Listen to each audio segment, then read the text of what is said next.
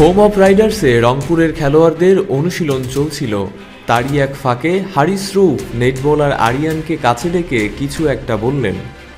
পরে এই কিশোর বলারের সঙ্গে কথা বলে জানা গেল, হারিস রৌফ তাকে ডেকে বলছিলেন, তোমার বোলিং অ্যাকশন সহজাত, আল্লাহ প্রদত্ত কিপ গোয়িং সেই সাথে প্র্যাকটিস শেষে অবশ্যই তার সঙ্গে দেখা করতে বলেছেন। উদ্দেশ্য, তরুণ এই বাহাতি বোলারকে কিছু গাইডলাইন ও টিপস দেবেন।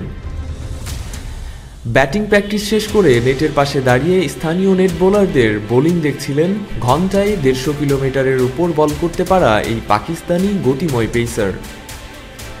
একশো বাউন্ন কিলোমিটার পার আওয়ার বেগে বল করে এবার বিপিএলে এখন পর্যন্ত সর্বোচ্চ গতির বোলিং রেকর্ডটাও এই পেসারের দখলে। গতিময় এই পেসারের সাথে আলাদা করে কথা বলার জন্য আরিয়ানদের অবশ্য প্র্যাকটিস শেষ হওয়া অবধি অপেক্ষা করতে হয়নি। পাশাপাশি নেটে একটু পরেই হ্যারিস রৌফ ও আরিয়ানদের সঙ্গে বোলিং করেছেন। নিজে বোলিং করার পাশাপাশি তরুণ নেট বোলারদের সঙ্গে এটা ওটা নিয়ে খুনসুটি করার পাশাপাশি আগ্রহের সাথে তাদের টুকটাক বোলিং টিপসও দিচ্ছিলেন। যেই তরুণরা পেস বলার হবার স্বপ্নে বিভোর, সেই তরুণরা খুব কাছ থেকে বিশ্বের অন্যতম সেরা পেসারের সাথে নেটে বোলিং প্র্যাকটিস করার পর নিজেদের উচ্ছ্বাস প্রকাশ করেছেন হাততালি দিয়ে।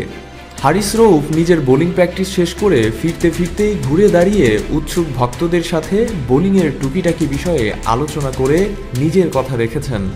তারকা ক্রিকেটারদের কাছাকাছি থেকে পরামর্শ নেওয়ার বিষয়ে আপকামিং বা ভবিষ্যৎ ক্রিকেটারদের সুযোগ করে দেওয়াটাই সম্ভবত বিপিএলের অন্যতম সেরা প্রাপ্তি।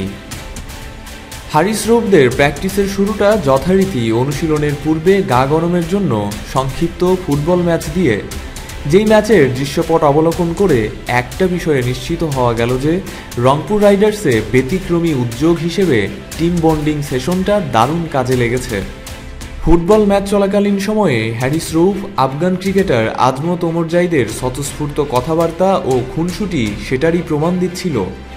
হারিস রৌফের মূল কাজটা বোলিং হলেও প্রথমে যখন ব্যাট প্যাড নিয়ে অনুশীলনের প্রস্তুতি নিচ্ছিলেন, তখন হয়তো কিশোর নেট বলাররা একটু হতাশই হয়েছিলেন। তবে বেলা গড়াতেই সেই হতাশা পরিণত হয়েছে উচ্ছ্বাসে। বিপিএল নিয়ে মতানৈক্য থাকলেও এই ছোট ছোট প্রাপ্তির জায়গাগুলো নিয়ে হয়তো দ্বিমত পোষণ করবেন না কেউই।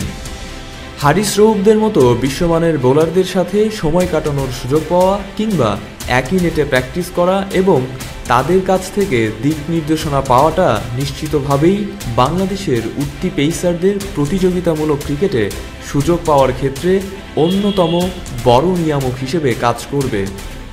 সাহাব সোহাগ, অন ফিল্ড